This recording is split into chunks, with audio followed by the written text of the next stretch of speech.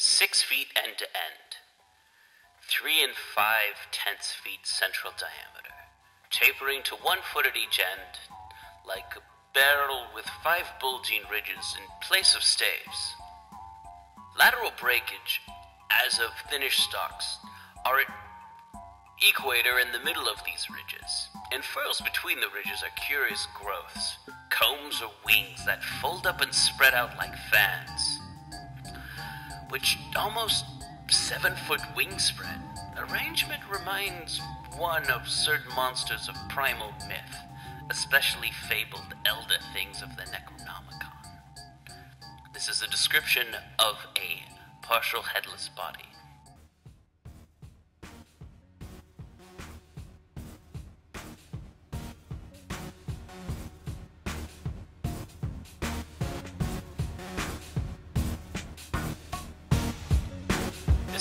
Guide to the Cthulhu Mythos, hosted by DB Spitzer. You can find us at PGTTCM on, on, on the Twitter, and People's Guide to the Cthulhu Mythos at gmail.com, and People's Guide to the Cthulhu Mythos.wordpress.com, and People's Guide to the Cthulhu Mythos.tumblr.com, and just look for us on Podbean. We're on Podbean. We're on Stitcher. We're on iTunes. That's where we're at. That's that's that's where we're at right now. And we're on Facebook. Check us out on Facebook. We're awesome.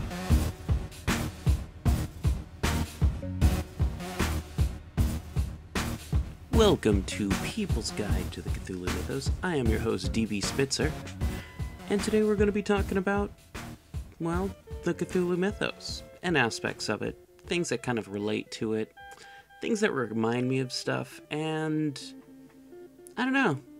Maybe we'll do some serious classification, talk about some what's what, where, when, who did it, but probably not. I'll probably talk about something for a little bit, get distracted, talk about something else, get excited, talk about something else, and then talk about something else and maybe get back to the original topic. Maybe not. Again, whatever, who knows.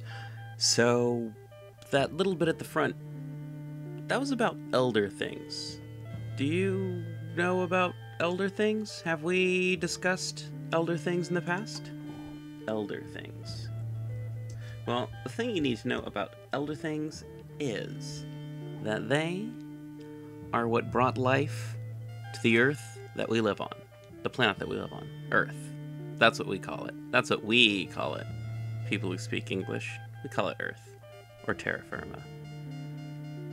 Anyway, so the elder things, also known as the old ones, but not the great old ones, are um, aliens, extraterrestrials, uh, from the Cthulhu mythos, the thing that we talk about all the time. Uh, originally appeared in H.P. Lovecraft stories Dreams in the Witch House, which was just kind of more of a reference to this um, ornament, but became more fleshed out and something a little bit more uh, referenced in The Shadow Out of Time. And then finally, uh, kind of a major part, not kind of, a major part of the novella At the Mountains of Madness. Um, so you have these elder things, uh, probably just kind of like, I don't know, frozen in the Arctic wastes. Some humans find them, start cutting them up, and yeah, I'm just just spoiler alert here. Uh, if you haven't read At the Mountains of Madness, stop right now. Uh, read Mountains of Madness, listen to it. Even you know, find find an audio recording and listen to it if you don't feel like reading. You know, play video games and listen to audio recording. At least at least become aware of what this stuff is. This stuff all the horror stuff that you like, all the video game stuff that you like, a lot of it stems from this stuff, and uh, it's important. I don't want to just sound like someone's dad lecturing you about, you know, the importance of the Cthulhu mythos, and, you know, but if I'm gonna, I will. Anyways, so, okay, so these guys came down to Earth about a billion years ago. And, you know, uh, they they stand about eight feet tall. They're big old barrel-shaped starfish things. And um, the thing is, like, I'm like, well, how, how? I don't want to sound like a jerk or anything, but how did they build stuff if they don't? And I always feel like a jerk, like thinking, okay, so you have an alien race. How did they build things? They don't have hands like we do. And it's like, well, um, ants build things and they don't have hands like we do. But ants also don't fly through space and um, colonize worlds. Anyway, so. You have these guys. Um, they have radial symmetry instead of our bilateral symmetry, uh, very much like octopuses, which may not be from our world. Uh, Lovecraft described the Elder Things as vegetable-like, or um, yeah, and having uh, vegetable and animal characteristics. Um, and I think they reproduced via spore. I can't remember where I read that. I think I read that on Wikipedia. And um, yeah, uh, apparently rough skin. I- I've always imagined them being something um, feeling like a loofah sponge. They've always kind of reminded me of loofah sponges that someone glued starfish and wings onto. Um, their barrel shapedness, their rough, uh, the way that their stuff is like a five sided, just I think loofah sponge. Mountains of Madness. Um, that the the great city of the Elder Things was inhabited by giant loofahs, and yeah, that that, that, just goes back to Lovecraft's uh, underwater imagery that he just tends to use all the time, whether it be giant octopoid things or sea sponges with a star thing, a starfish stuck to them, fish people. Yeah, all kinds of uh, I don't know, sea imagery. Anyway, so what else do we know? Okay, so source material, we talked about that. Apparently, the Elder Things had a huge, huge, huge uh, civilization on both uh, underwater and on land, and um, uh, the they they had a slave race called the Shoggoths that then rebelled, and the rebellion was like the collapse of this empire of these elder things, at least on Earth. At one point in time, they could fly through the ether of time and space, but they became degenerate and knew to how to no longer travel through time and space or the ether of space or whichever it is. Um, they had a great city underneath the Earth, uh, all, all over the place. And Um, uh, the Elder Things were known to have uh, warred against like Cthulhu's Starspawn and the Mi-Go and the great race of Yith. Um, we've we've discussed we've discussed the Mi-Go, the uh, fungoid creatures from beyond our our our, our galaxy that um, have an outpost at least on Pluto and mine for metals on Earth. And they like to trick hillbilly folk into doing their bidding, and also ours where the uh, Yeti mythos or uh, Yeti mythology comes from. Even though a furry white thing and a fungoid crab blobstrosity kind of guy don't look anything alike, so I'm not sure what Lovecraft was thinking when it came to that one. Anyway, so let's see, where are we now? Okay, so we talked about their city, we talked about their last surface city located in Antarctica that uh, some guys from Miskatonic University found on a super great exploration of the Antarctic.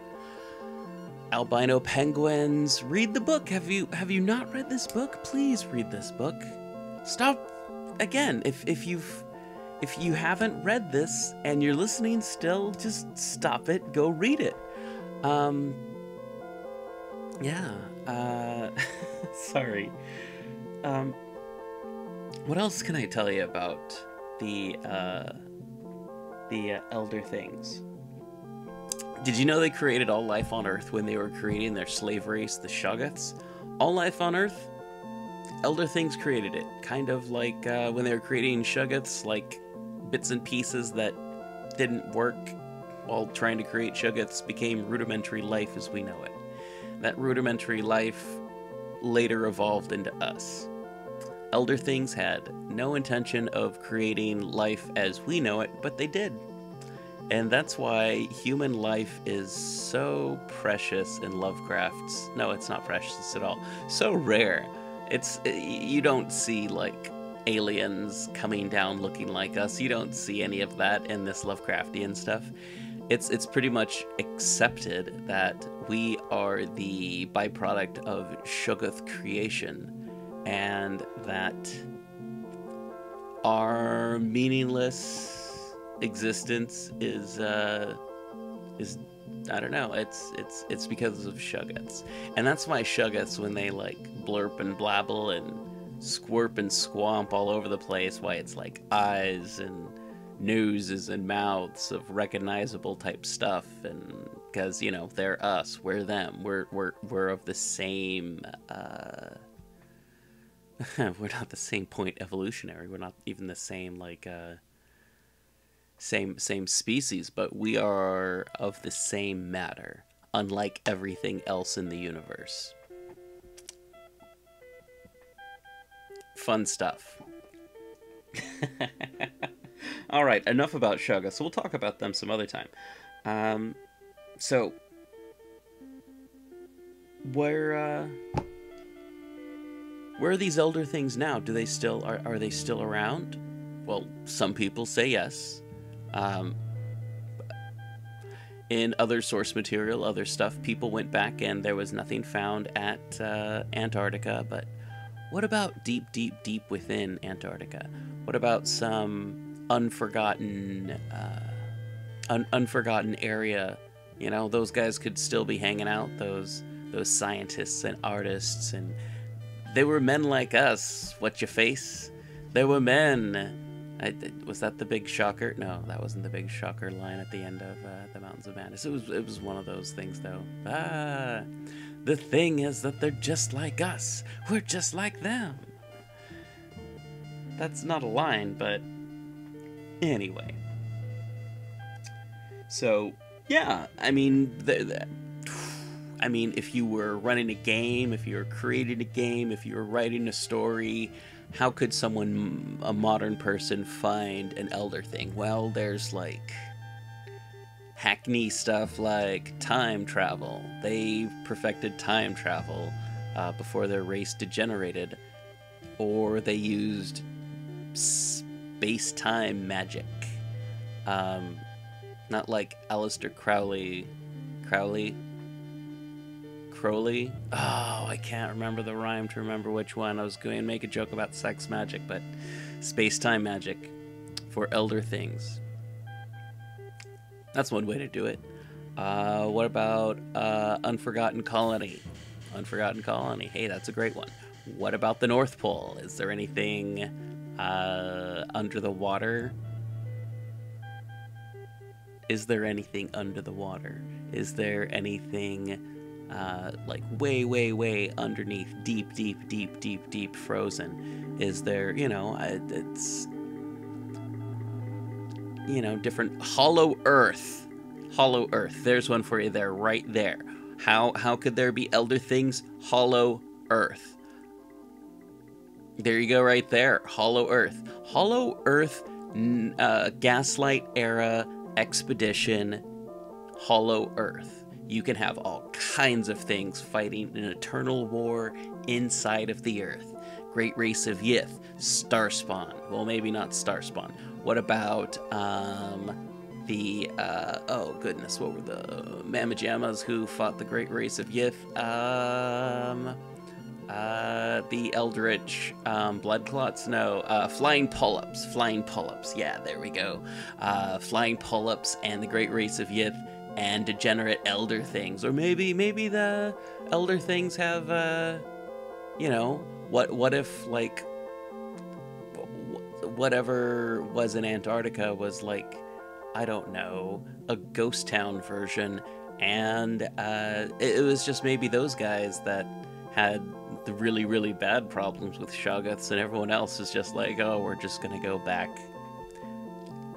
We ran out of stuff here. It's not that great. There's Shoggoths everywhere. We're we're there's way too much. I don't know. Um, this like animal life stuff. Oops. We we destroyed we destroyed this place. Let's get out of here before it gets too bad.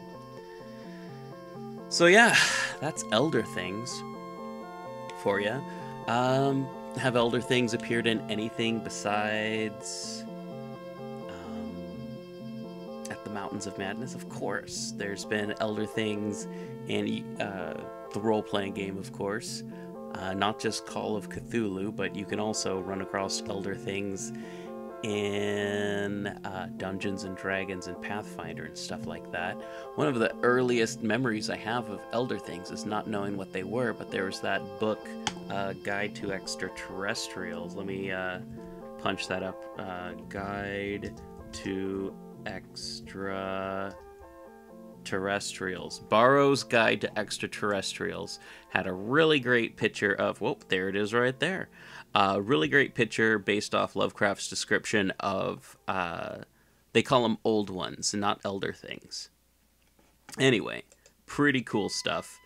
Um, yeah. Barrow's Guide. I remember that in, uh, what was it? Probably about like fourth or fifth grade. I don't know what year it came out but just really, really, really, really digging that book a lot. I think a lot of kids really dug that book. Um, what year did it came out? It came out in 1979. Okay, cool. Uh, Hugo Award for Best Related Barrow's Guide. I gotta write this down so I remember to put this in show notes. Uh, Barlowe's Guide. Sorry, yeah, people probably screaming at me on their side of the uh, Barlowe's Guide. Anyway, yeah, no, Barlowe's Guide, great thing. Kind of went on to uh, inspire a lot of people to do a lot of other stuff like that. I can't recall if uh, did someone inspire uh, Wayne Barlowe with Ian Summers and Beth Meacham, who provided text, uh, such as Roger Troy Peterson's Guide to Birds in North America. Yeah, no, okay, I get it. Uh, Peterson Guides. Uh, Sandy Petersen did Peterson Guides for Call of Cthulhu, and then someone else did Peterson Guides for uh, Shadowrun. I believe there was. Sh- uh, you know what? Uh, I don't know. I can't remember. Yeah, go to the Shadowrun podcast for that stuff. They'll they'll tell you. Uh, I don't know of a Shadowrun podcast, but if you do, let me know. I miss Shadowrun. Shadowrun was fun. That's one thing I like about listening to Harmontown. Get to listen to people play Shadowrun, especially Curtis Armstrong from Revenge of the Nerds, playing a uh, troll doctor. Pretty cool stuff. Plus, Curtis Armstrong, national treasure.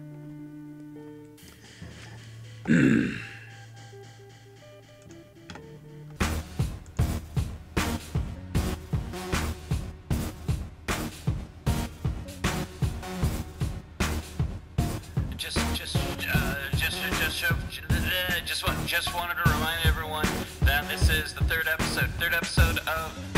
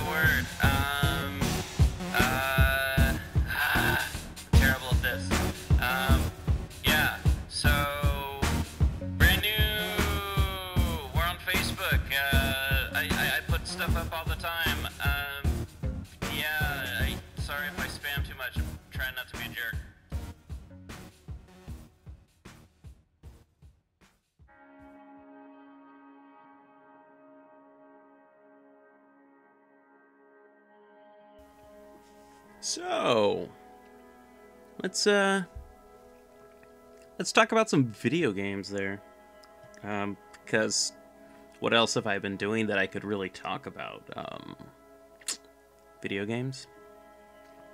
So, what I have been playing a lot of and checking out playthroughs, because when I can't sleep at night, I like to listen to podcasts, sketch and draw, and play video games. And I love Fallout New Vegas. Fallout New Vegas, I think, is probably my favorite video game of the last few years. But it gets a little boring at times, so I will sometimes put in something that will replace all kinds of stuff. And one of those replacers, game replacers, turns it into a brand new game, is called Fallout Dust. You can go to, and um, if you have a console, sorry, but this is a mod. This is a mod for a PC, um, or in my case, a Macintosh that has been tricked into thinking it's a PC for the sole purpose of playing Fallout. And uh, yeah, I've been playing Fallout Dust. You start out in roughly what would be the Legion safe house, and you have to find your way out of the Mojave. There's a fair amount of lore involved. You.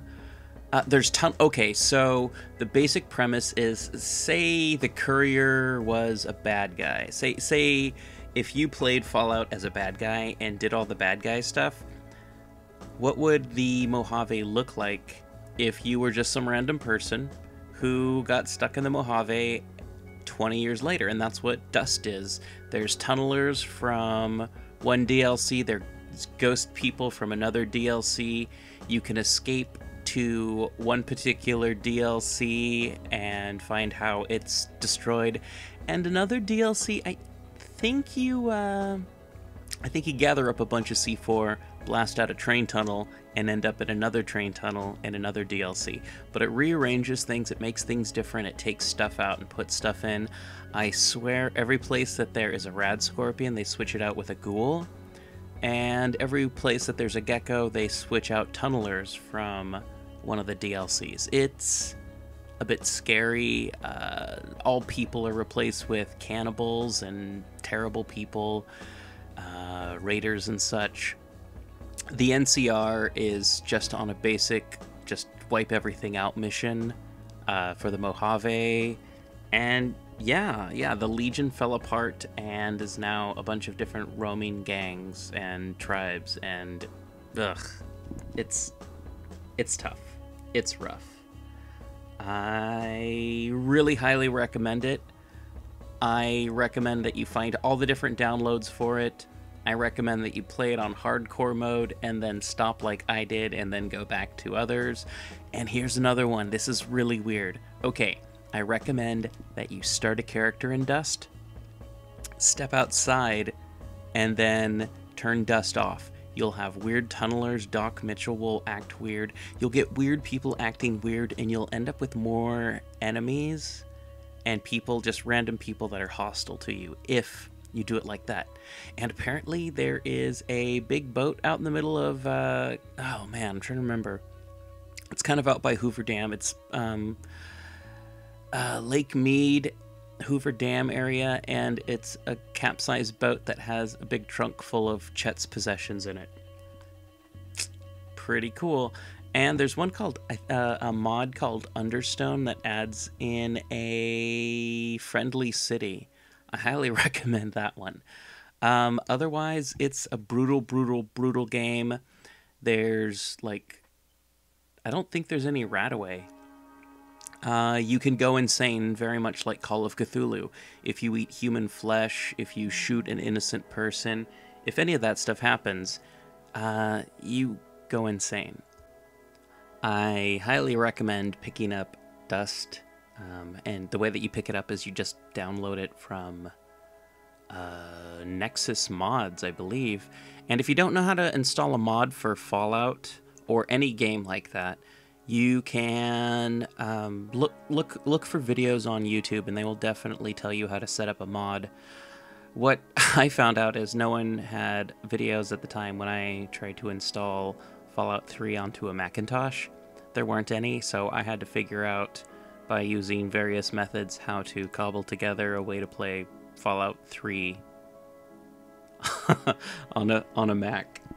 Uh, what other games do I have set up? I have Sheltered. Sheltered is kind of like um oh, oh wow, it's a roguelike. People describe it as a roguelike and I'm like, I don't know if I would say that. Uh, it's got kind of terrible graphics. It is an inventory management program where you play a family and then possibly more where you upgrade and repair various parts of your fallout shelter and you send people out into the wastelands. Now you're saying, hey, how is this different from Fallout Shelter? Well, you're not an overseer. It's like 8 bit graphics as opposed to uh, iPhone graphics everything's kind of simplistic looking. You can repair things. You set people up to give people very specific tasks. It's kind of more like, I don't know, The Sims uh, meets Post Apocalyptia, but also kind of a um, Warcraft 2, Warcraft kind of like building system you need to gather supplies. You send people out into the wastelands and you have them gather stuff. They fight things. There's turn based combat.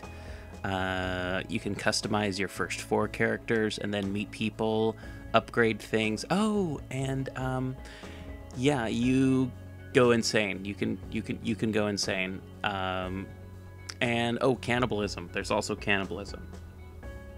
It's it can get really dark really quick. Uh, radiation poisoning, uh, raiders, not not raiders like in Fallout, but like more like The Road or Walking Dead. I don't know if I'm excited about the next season of Walking Dead.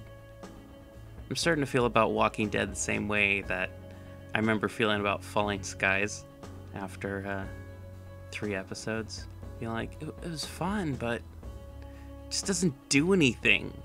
That's there's no real drama. It's just I don't know.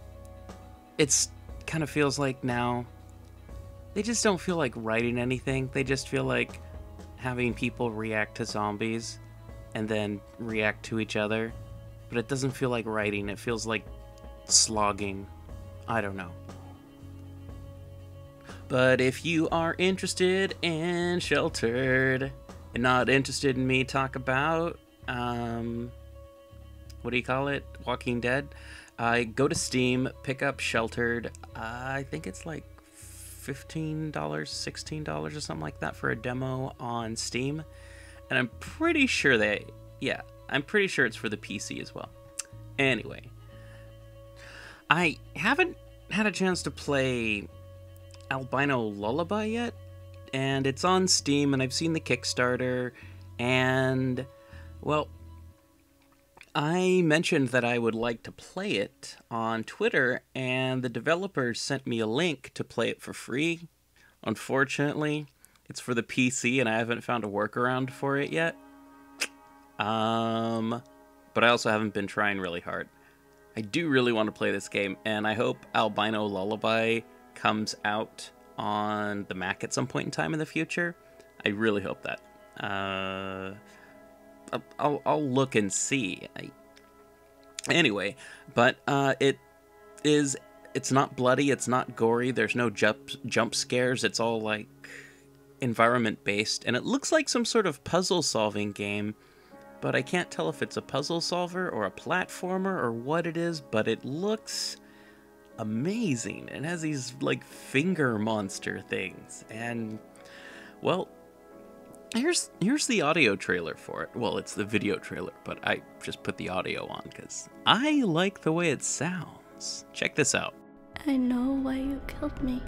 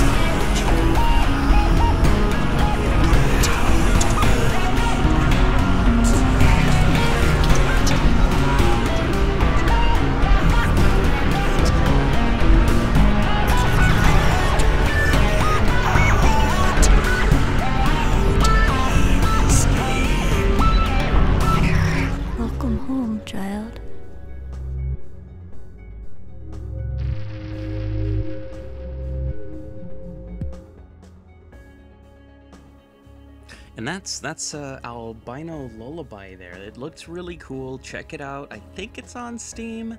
I put a link to their main thing on the show notes on the WordPress. And just a quick reminder, we've got WordPress, Facebook, Twitter.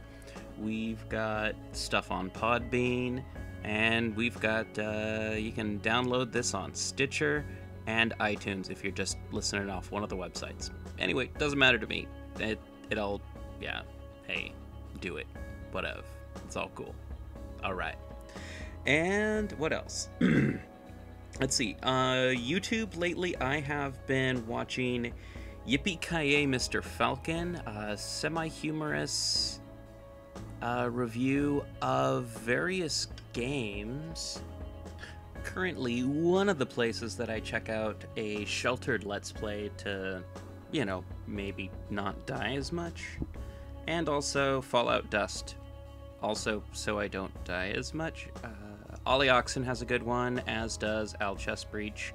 Miniature Nerd, no. Um, I'm trying to remember all who has one right now. But there's a lot of cool Dust playthroughs that you can go out and check out right now. Uh, we're not talking about Dust, we're talking about Yippee Ki Mr. Falcon, which comes from, I think, like the TBS, USA, whatever, uh, cable afternoon, maybe even network television uh, censoring of Die Hard. Yippee Ki Mr. Falcon. And who else do we have? Uh, Mr. Nightmare on YouTube. I've been watching quite a bit of at night after I get back from my walk or before I go on my walk when I walk in circles in the dark around an old abandoned elementary school. Why? And listen to my spooky podcasts and true crime pro- podcasts, which is kind of a bad combination of listening to true crime and then horror podcasts. Um, but I'll get to that in a moment. But yeah, um, Mr. Nightmare. Uh, expect a lot of creepy pastas, and I'm pretty sure when putting the video together, Mr. Nightmare just punches in a word into Google, grabs the Google image, and then just uh, keeps doing that for like every 12 words or something. no, it's not that bad. It's not that bad. It does feel like that with some other people, but he's not that bad. He does find some really spooky, or they, I'm just going to say they because I don't know how many people it is working on it, but they find some really good images and some really spooky story, and it's it's pretty good audio. I have to highly recommend it. Um, now, uh, podcasts. Here's here's a podcast that I've liked for a while, and I've never really had a chance to give a shout out to, but um, Cult. Let's see, Cult Film Club. Uh, they kind of go into depth on films that you may have watched growing up.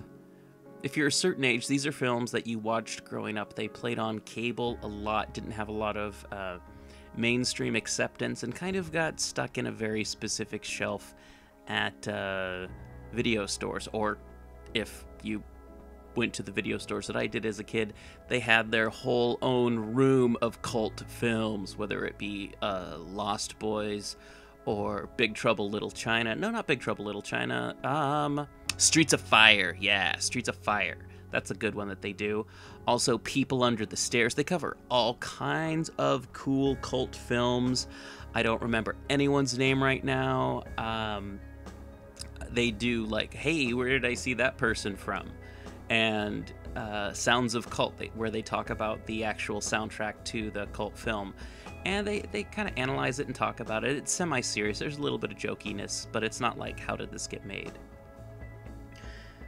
Yeah, um, only other thing I can really tell you about them is I designed an ad for them once. Well, I designed an ad for my client who was working with them before I even started podcasting and that's how I found out about them is I designed an ad with three skeletons wearing t-shirts for them that would specifically go on their podcast or their website for their podcast. Wow, boring story. Too long. Don't listen. And and finally, um, podcasts that I've been just binge listening to, which oh, other podcasts. I'm sorry to say this, but I have. I've just been listening to Knifepoint Horror by um, who's it by? Uh, Soren uh, Narnia. I don't know if that's really his name or not, but that's really not my concern. These tales of supernatural suspense adhere to the most primal element of storytelling a single human voice describing events exactly as it experienced them. Here you will find no entry into the thoughts of any characters other than the narrators, no standard passages of dialogue, no humor, no romance, no profanity, no extraneous gore. The story, stripped even proper titles, will spo- spill forward as uninterrupted confessions. Knifepoint Horror leaves nothing but the story's riveting spine to compel and chill you to the core. Music by Kevin MacLeod, Twitter at Soren. That was the description I read from iTunes, and it's very, very fitting. Um, yeah, and uh, right now there's like 32 of them dating back to 2010. Looks like there's some 2010, 2011, only two for 2012. Uh, yeah, 2013, 2014, and looks like he's back at it again. Hopefully, we'll get more because these are really, really good horror stories. This is the kind of stuff that if I was going to have a party where people sat around and listened to horror stories, yeah, this if I needed uh, a jumping off point for creating a scenario for Call of Cthulhu that I was just going to play for my friends and not, you know, write into a mod, yeah, this. If I was going to. Uh, this is a great, great podcast to listen to, but also it's a great resource for learning how to tell a story, how to tell a narrative from a first person perspective. Um, it's it's spooky, it's scary at times, and I really, really, really have to highly recommend it. Um, yeah, no, there's there's some good podcasts out there, and there's some really good podcasts out there. This this is a really good podcast. It it doesn't start out with any stupid music. You don't hear a narrator telling you about what you're gonna hear. You don't hear him address the audience ever. It's just the narrator, their story, and then it's done. If you're not paying attention, you can have a couple episodes play, but they're about like hour long episodes. So if you're walking in a circle, another one will start.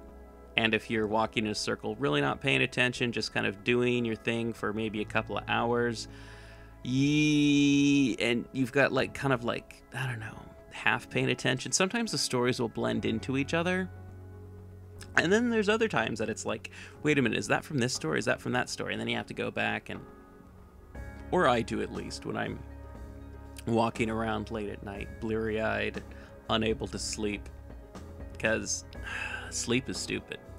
I don't know if I've told you this or not. I hate sleeping. I hate sleeping and I hate hate eating. Yes, I know. I am formerly a professional chef. I hate making food for myself. I love making food for other people and having people be like, here's money, make more food. But taking the time to eat, it's bullshit. I wish that there was some sort of pill that made it so I didn't have to eat or sleep. That didn't make my teeth rot, teeth rot out. You know, because if.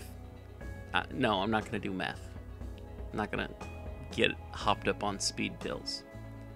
But geez, if I could just cast off the shackles of humanity and never have to eat or sleep again and just work and do stuff and enjoy myself, that would be great. That would be the best. Huh. I wonder what it would be like if I never had to sleep again. I know, I'll write a short story about it, says every horror author ever. Seriously. I, I, I feel like at some point in time, every horror author has been like, what would happen if I didn't have to sleep? Wait a minute, I got an idea. So, I guess I gotta wrap this up. I can't think of anything else to talk about other than. Um, I don't know. Um, you can follow us on the Twitter at People's Guide to the Cthulhu Mythos. We're on Facebook now, and I was wrong about Facebook.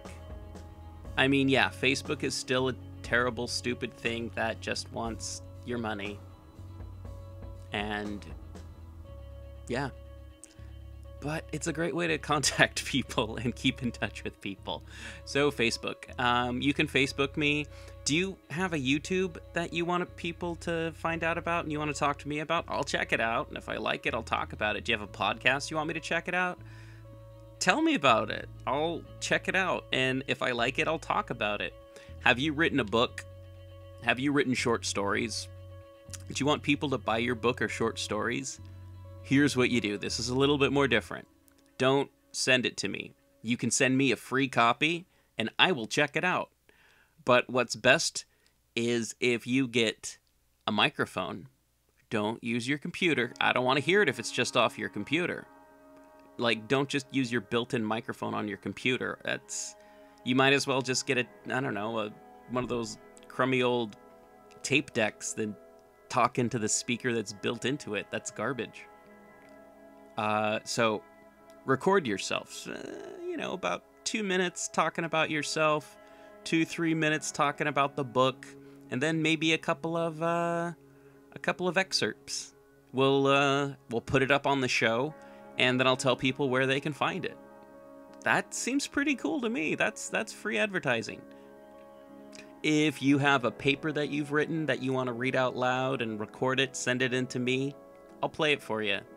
If you have like short stories that you've written, a little audio play or something like that, I'll put it on. I yeah, as long as it's uh, horror, mythosy, whatever, science fictiony, do it, do it, do it, do it.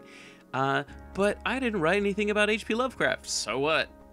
I don't care. I wrote something about Frank Belknap Long, even better.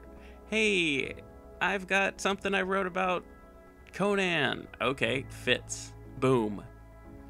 Uh, yeah. So send stuff in. If you've got art, send it in. I'll put it up on all of the different stuff things that I do, all the different uh, social media. And heck, I'll even put it up on the YouTube. Hey, did you know that I'm on YouTube? Yeah, look for People's Guide to the Cthulhu Mythos on YouTube. You'll find uh, two podcasts, possibly three by the time this goes up. And you'll find some videos I took of the HPL Film Festival in Portland in 2008 2009. Probably end up doing one in 2015 since I've got this podcast now. So that's what, a month away? Oh man. I don't have enough time for all the things I want. I wish I didn't have to sleep, and I wish that I could stop time. Alright.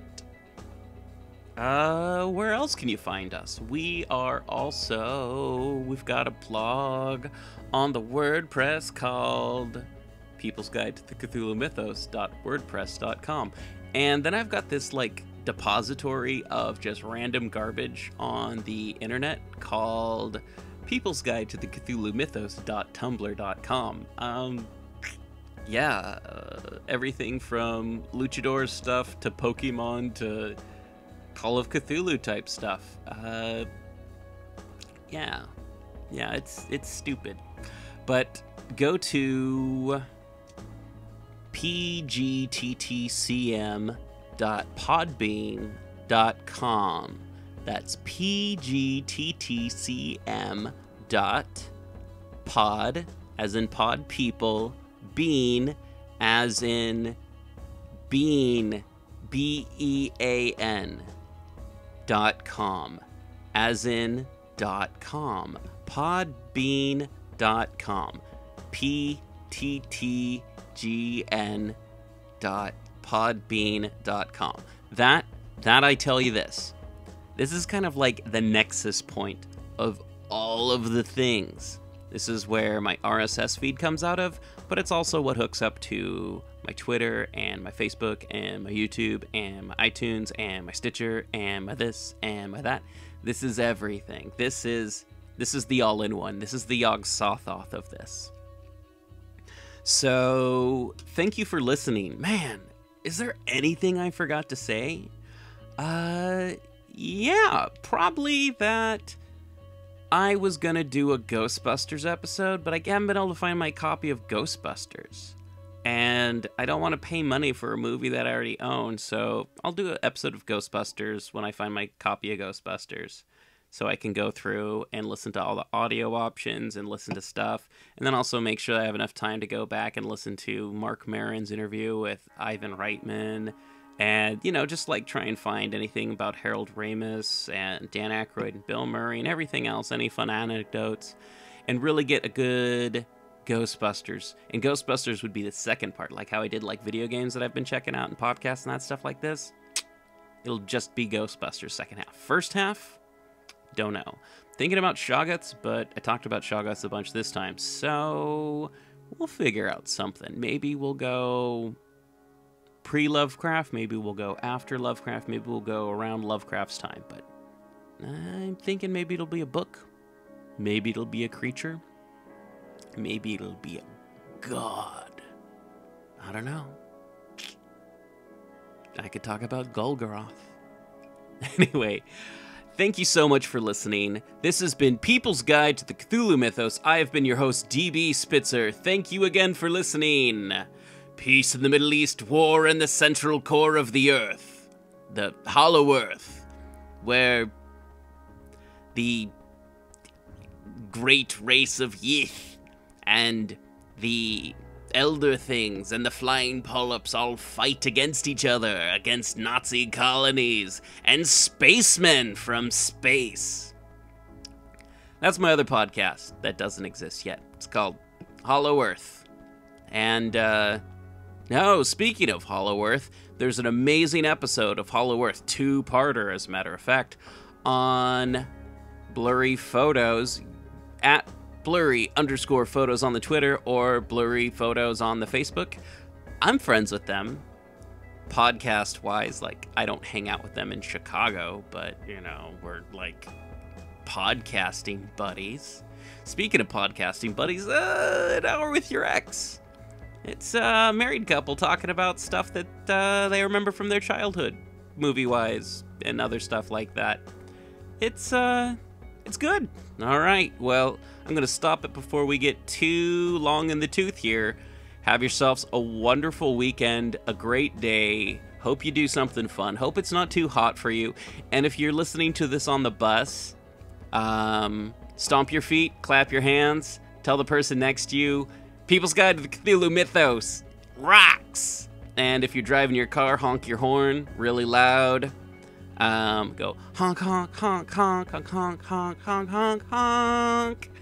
That's, I don't know, you know, that's that's useless. And if you're just walking around in an elevator, whatever, just press all the buttons and then get out. Okay, that's me. I'm done. Don't have anything else to say. Bye.